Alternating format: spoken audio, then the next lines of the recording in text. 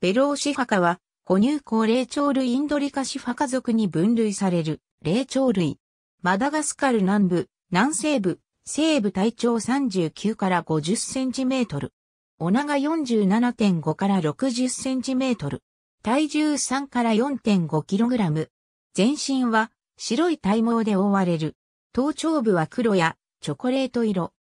以前は複数の亜種を含んでいたが、2000年代以降は、コクレルシファカ P. coquereli クロカンムリシファカ P. coronatus デッケンシファカ P. deckenii として分割する説が有力とされる。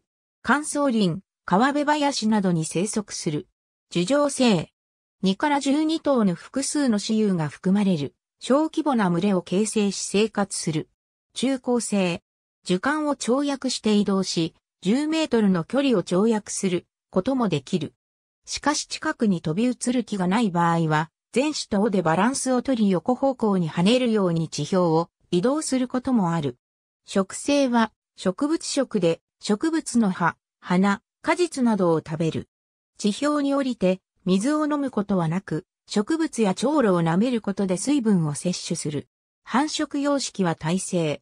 1から2月に交尾し、妊娠期間は155から165日。6から7月に1回に1頭の幼獣を産む。生後3から5年で生成熟する。生息地では食用とすることを禁忌とする部族もいる。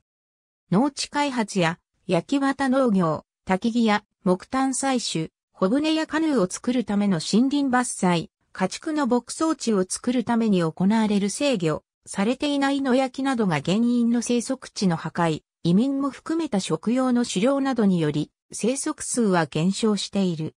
長期的な干ばつによる影響も懸念されている。